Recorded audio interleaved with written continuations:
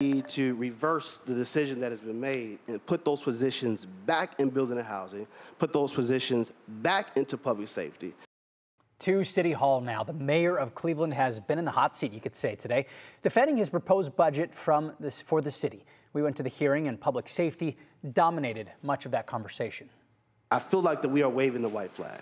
I, I truly do. Council members have been sitting on the numbers for almost three weeks. I couldn't disagree more with you on that point. A 400 plus page proposal of the city's $2 billion total budget that includes cutting 148 vacant police positions. The elephant in the room is uh, police budget staffing and making sure that we don't lose our aspirational goal. One council member after another expressed concern about public safety and traffic enforcement. I want to refute the notion that there haven't been applicants.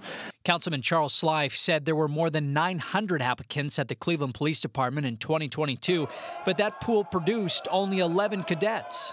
Not for lack of interest, but lack of information. This council, I don't think, fully understands why Cincinnati is able to put on a 50 person cadet class, but Cleveland isn't. There's nothing in your comments that I don't agree with. I want more transparency on uh, why certain folks aren't getting hired.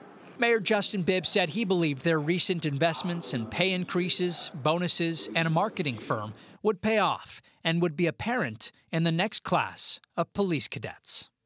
So, what I'm not going to do is have imaginary math while, while not having the investments we need to fix our near term staffing challenges inside the division of police.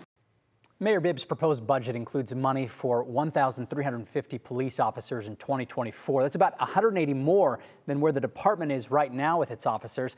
And Mayor Bibb said he believed we could get closer to hiring that number in this new year. And it was interesting, you know, as each council member came up and was expressing some concern. And some of them, you know, didn't focus on public safety or some other items. Uh, but one, one in particular actually talked about a recent experience he had just this weekend where there was a shooting right outside his home and his window was blown out. So we'll, we'll hear actually from him coming up at five. Also interesting to see the numbers in Cincinnati as opposed to Cleveland. Yeah. When you talk about 50 cadets who are graduating in Cincinnati, 11 in Cleveland, and they're saying, okay, we are a big city too. Why is that happening? Right. So He even brought up Toledo, in fact, and said Toledo is- actually pays less than we do, and they had a larger class. interesting. Yeah, and so um, the the city, the mayor's office, they're they're optimistic that this year the class of cadets will be much bigger. All right, we shall see. Yeah.